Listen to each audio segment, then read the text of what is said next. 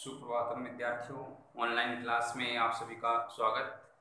आज 16 अगस्त 2020 कक्षा अष्टमी विषय संस्कृतम।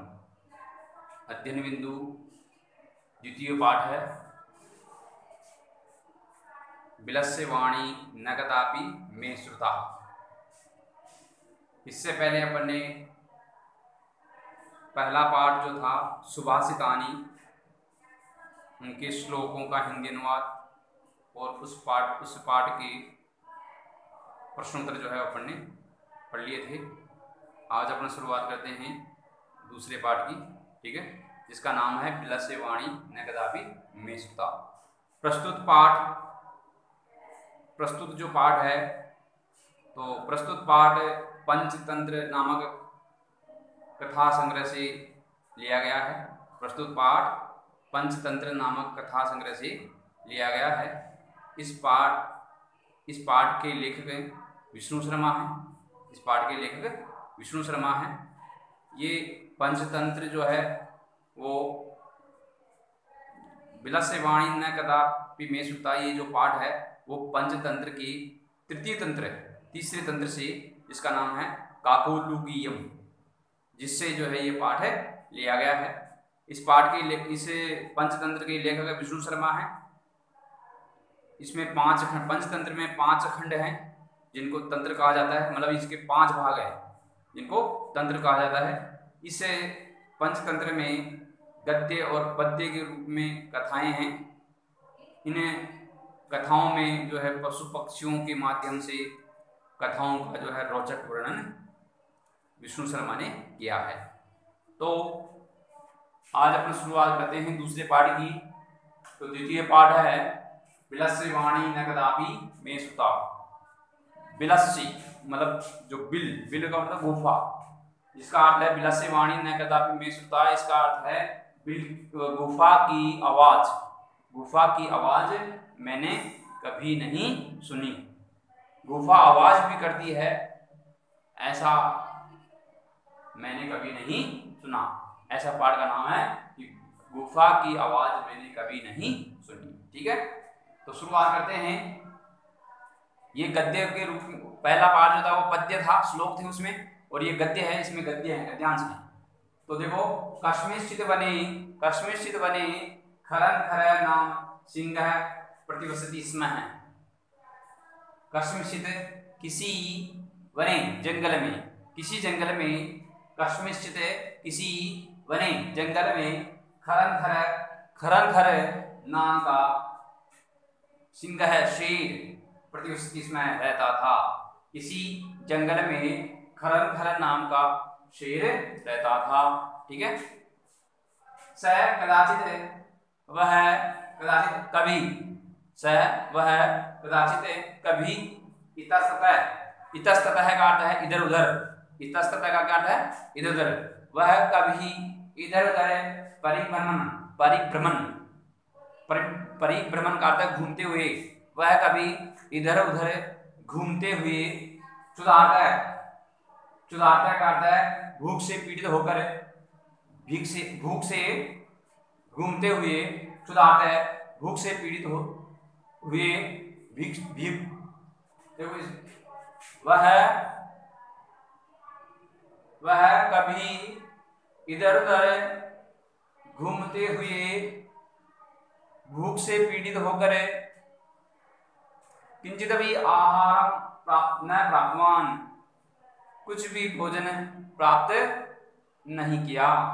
वह कभी इधर उधर घूमते हुए भूख से पीड़ित होकर कुछ भी आहार या कुछ भी भोजन प्राप्त नहीं किया।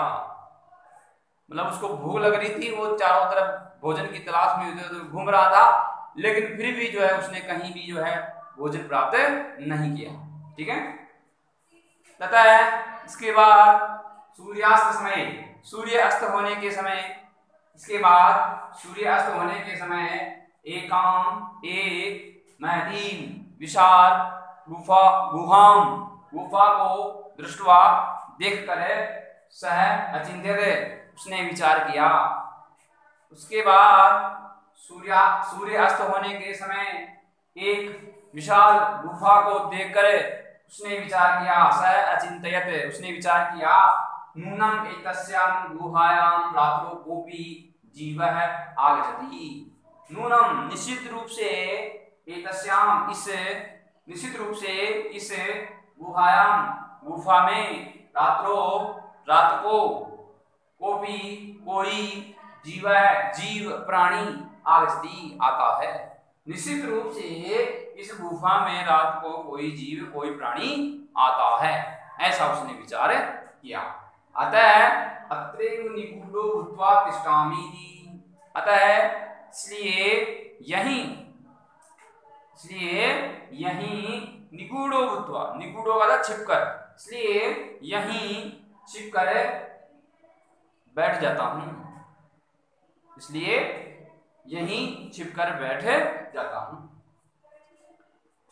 अब इस बारे में दूसरा पैराग्राफ, एतस्मिन अंतरे गुहाया स्वामी अधिपुच्छ है नाम का श्रृंगार है समागछत एतस्मिन अंतरे इसी दौरान, एतस्मिन अंतरे इसी दौरान गुहाया स्वामी, गुफा का स्वामी इसी दौरान गुफा का स्वामी दधिपुच्छ नामक नाम का श्रृंगालय सियार समागत आ गया। उसी उसी समय, उसी दौरान गुफा का स्वामी दधी कुछ नाम का शिहार वहाँ आ गया। कहा? गुफा के पास। जो गुफा का जो स्वामी था, उसका नाम था दधिपुच्छ, वो था श्रृंगार। ठीक है? वो वहाँ आ गया। सच यावत पश्यति। सच यावत पश्यति तावत सिंहबद्ध पद्धति गुहायां प्रविष्टा दृश्यते।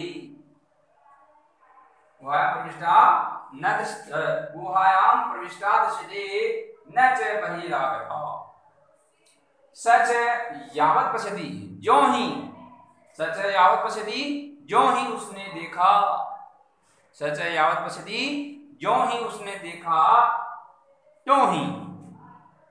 जैसे ही उसने देखा, वैसे ही सिंह बद्ध पद्धति शेर के पैरों के चिन्ह, शेर के पैरों के चिन्ह गुहायाम प्रविष्टा गुहा में, गुफा में प्रवेश होते हुए दिखाई दिए। जैसे ही जो ही उसने देखा, वैसे ही शेर के पैरों के चिन्ह गुफा में प्रवेश होते हुए दिखाई दिए। गुफा में प्रविष्ट होते हुए दिखाई दिए। न जय वही रागता लेकिन बाहर आते हुए दिखाई नहीं दिए। वो शेर के जो पैरों के जो चिन्ह थे, वो गुफा के अंदर प्रवेश करते हुए तो दिखाई दिए, लेकिन वो जो पैरों के जो चिन्ह थे, वो बाहर आते हुए दिखाई नहीं दिए। ठीक है? सरंगालय अचिंतित सिहार ने सोचा, अहो, विनष्ट अस्मी। अरे, मैं नष्ट हो गया। अरे, मैं नष्ट हो गया। श्रृंगालय चिंतित सिहार ने सोचा, अहो, विनष्ट अस्मी। अरे, मैं नष्ट हो गया। ठीक है? कैसे नष्ट हो गया? इस गुफा में तो किस, कोई जो है, इस गुफा में तो शेर है। वो प्रवेश कर गया। इसलिए मैं तो नष्ट हो गया। नूनम अस्मिन बिले सिंह अस्ति यदि तर्कयामि। निश्चित रूप से इस अस्मिन इस बिले गुफा में, निश्चित रूप से इस गुफा में सिंह अस्ति, शेर। है इति तर्कयामि। ऐसा मेरा विचार है। निश्चित रूप से इस गुफा में शेर है, ऐसा मेरा विचार। इति तर्कयामि, ऐसा मेरा विचार है। तत् किम करवाणी तो मैं क्या करूँ? तो मैं क्या करूँ?